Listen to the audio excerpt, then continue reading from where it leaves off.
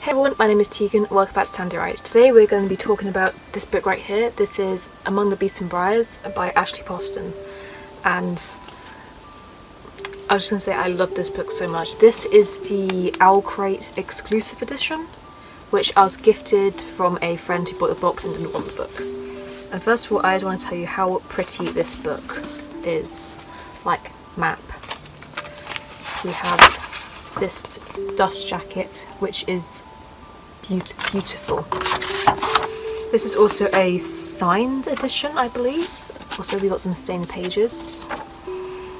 Um, where's it? Where's it? Where's it gone? Yeah, this is a signed edition. So this is a very special book to me. And also, the I think the original cover is white version of this, I think the black one suits it so much better. So nice. So Among the Beasts and Briars was wonderful in this very quiet, classic way, yet the world building in it was still still very breathtaking and whimsical and so vivid.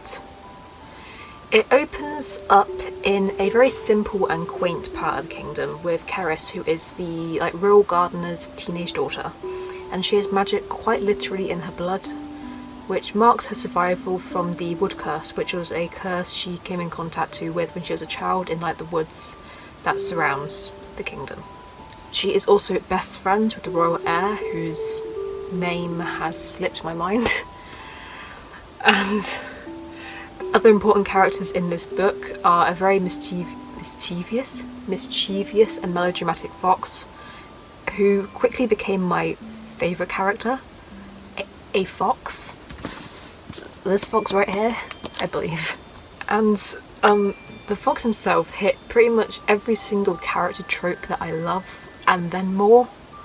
I think that's all I can say about giving away too many spoilers. Not like important big plot spoilers, but just character spoilers, which I think are equally important. So a majority of this book takes place on a journey through the forests. And forest settings are the love of my life, especially as someone who basically grew up just surrounded by trees. I live in a small town and there's a lot of forests. Things like this are for me. The descriptions about this forest really emphasise the creepiness and I love the attention to detail, especially on the people who are affected by this wood curse, as well as all the other monsters that are hidden in the shadows.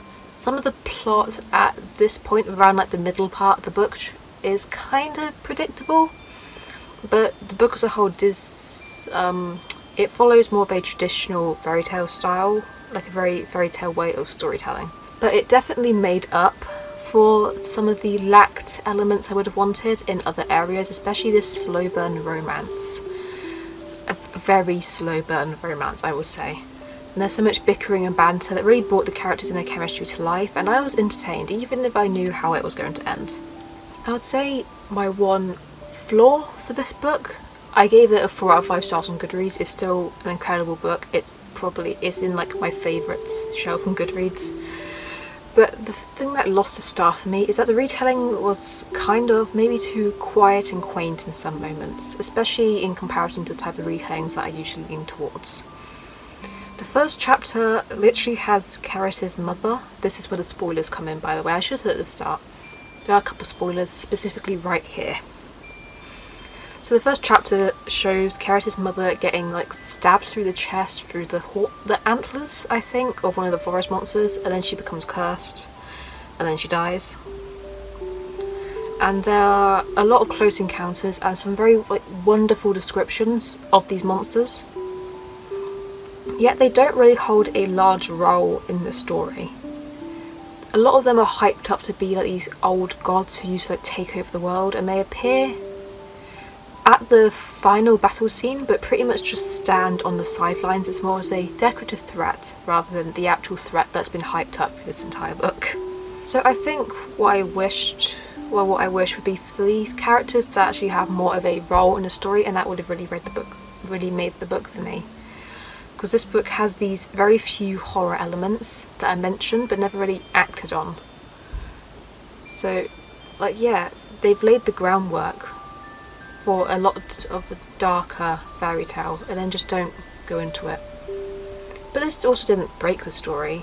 The incorporated eerie elements were still very wonderfully written and it did add a very good amount of depth and intrigue to the simplicity of the overall story. Finally, my favourite part of this book is that it is a standalone. I do love a good series, there are many good series behind me, but this book perfectly wrapped up the entire thing in its own book. It doesn't need another series to elaborate on the story or to even like drag it out much further than it should to like risk the chance of ruining the story. So this book just being a, a single book, a fairy tale in a book, it has this like very sense big sense of warmth and familiarity and it's the kind of story that I would come back to as a comfort read at some point. However, I do love in this book, after the epilogue, there are a couple scenes about other characters and how they're doing after the finale of the book. That kind of suggests that there could be more to come from this universe. Maybe not from the original cast, but from the side characters, and that is something I would definitely have an interest in reading if it comes to fruition. Fruition. Fruition. If it comes to be, I'll be interested in reading more in this universe. So I have a feeling that this review as a whole maybe comes off as a bit negative, but I feel like if I said more, I would have to like this entire thing would be a spoiler. It wouldn't be a review, it would just be me rambling about how much I love certain aspects. So this is my formal statement, I guess, that I do generally love and enjoy so much of this story, so much more than I can say. So thank you for watching this video. In the description, I believe, I'm going to put a link to the blog post review of this book if you prefer to read it and not listen to my rambling. But if you're at this point in the video, you've listened to my rambling. But thank you for watching and I will see you next time. Bye!